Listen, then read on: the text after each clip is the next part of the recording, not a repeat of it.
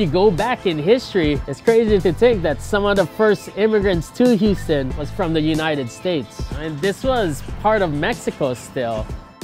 We're gonna be going to the original Ninfa's, the originator of the fajita. And we're gonna meet with Chef Alex Padilla, who has cooked all around the world.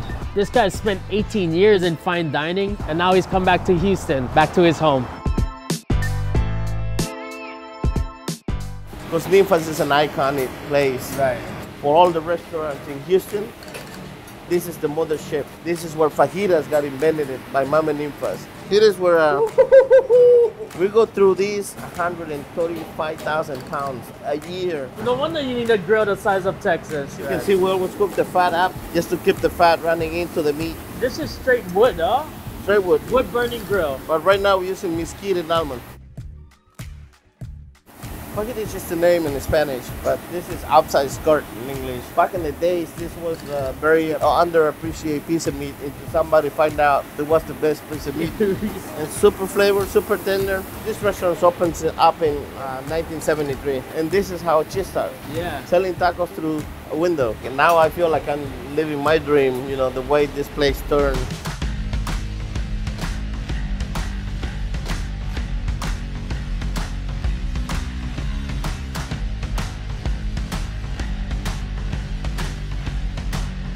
Welcome to Houston.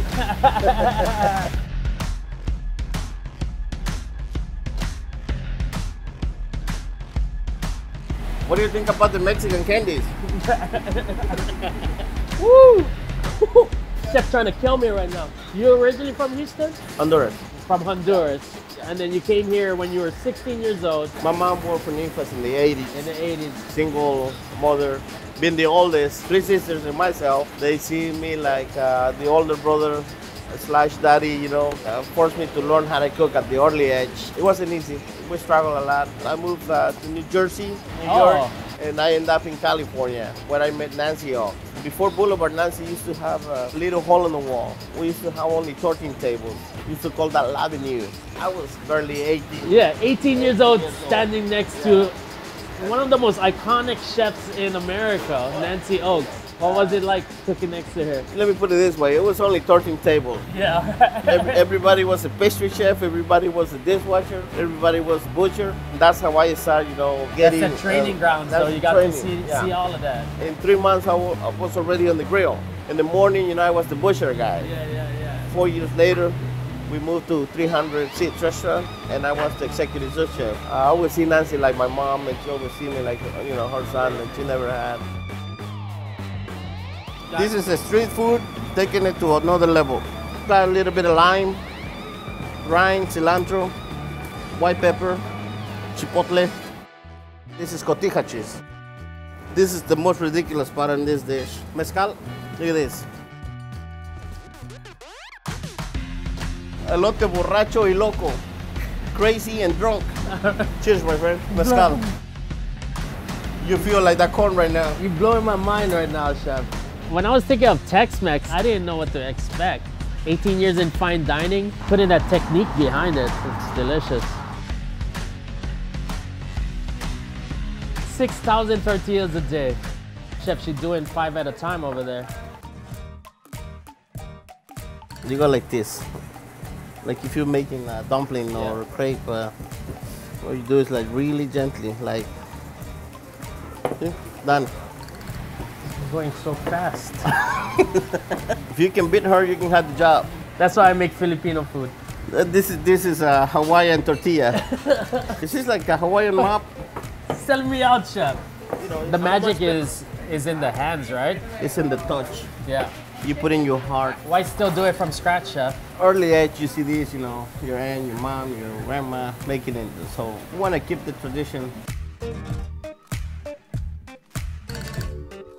You're cooking here. What about mom? She raised the family through here, and then, then you're But doing our, the, our life is right here. Yeah, yeah, you're doing the same. I was like almost in tears, you know, when I saw this place again. Right. You gotta love this place. You gotta feel it. That's why in every meal we put everything, and like.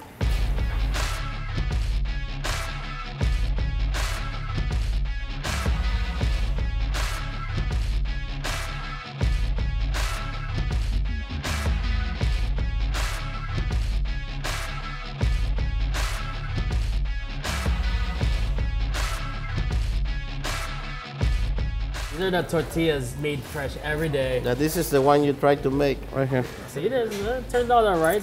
Maybe not that perfect circle, but it's okay. From cooking foie gras, the best caviars, like you know, I, I'm eating fajitas now. Oh.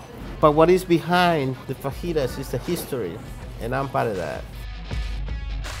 You take for granted of how diverse Houston is now. Was it like that back in the day? 20 years ago, Houston was empty. Now Houston is like a chocolate melting pot.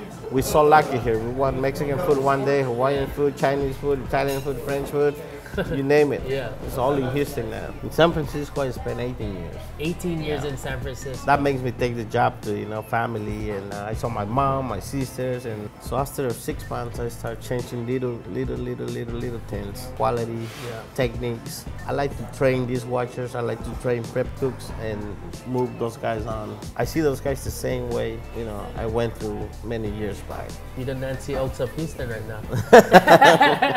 She's prettier than me. I would like to show you the, the new stuff. Let's start with the uh, blue crab jumbo crab cake. It's coming with, from the wood burning oven with chipotle sauce and pasilla pepper.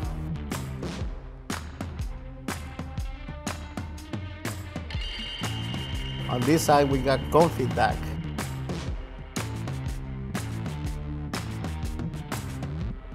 Cajicama, mango, and cucumber with quince paste and raspberry sauce. And this is octopus from Spain, sous vide style. And you can make tacos out of it. Definitely taking it to, to the next level. This is uh, from the Gulf, which is right behind us. Oh man, that's delicious. The sous vide, so tender. And then the duck confit, classic French style, yeah? Yep.